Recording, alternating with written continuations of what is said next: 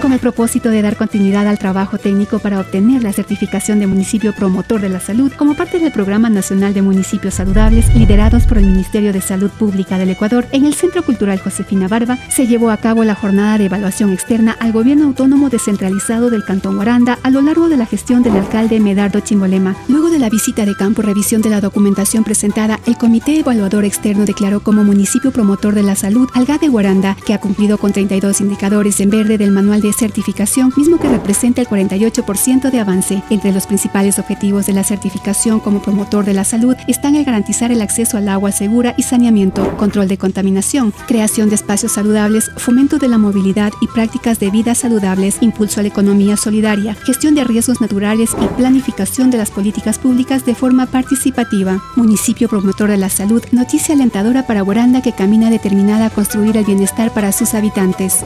Alcaldía de Guaranda, juntos nos protegemos.